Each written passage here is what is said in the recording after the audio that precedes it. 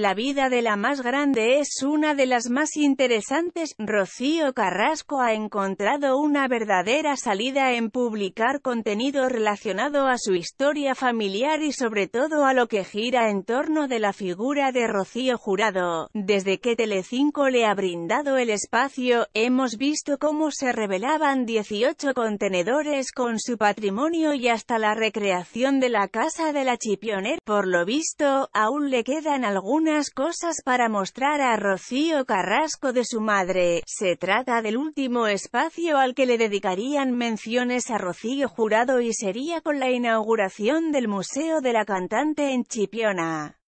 Igualmente, su hija está preparada para traer de manera infinita algunos temas. La propia Rocío Carrasco aceptó que no desea hacer una serie ni mucho menos sobre la vida de su madre, aunque en forma de documental sí parece interesarle. Tras seguir con el ejemplo de lo que hicieron con Rafael o hasta con Lola Flores. De hecho, el medio cotilleo le consultó sobre esta posibilidad y ella respondió, me vas dando ideas todo se andará.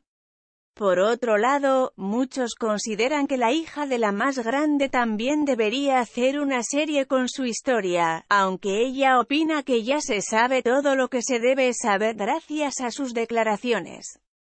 En el caso de Rocío Jurado, no descarta la idea y cuando le preguntan qué actriz escogería para interpretar a este personaje, responde, pues no lo sé, no está el proyecto siquiera, por lo visto, es una posibilidad que no se borra de los planes de Rocío Carrasco y, de hecho, la vida de Rocío Jurado está tan llena de giros y es mucha la gente que la admira, que no sería una idea descabellada y seguramente, aunque no sabemos si eso pasaría también por los escenarios de Telecinco, aunque no confirma qué actriz tendría, Rocío Carrasco siempre ha elogiado las participaciones de la extriunfita Anabel Dueñas, quien además es su amiga y hemos oído cantar con mucha similitud a Rocío Jurado, aunque ella misma indicó que siente que la pasión de la más grande era mucho mayor a la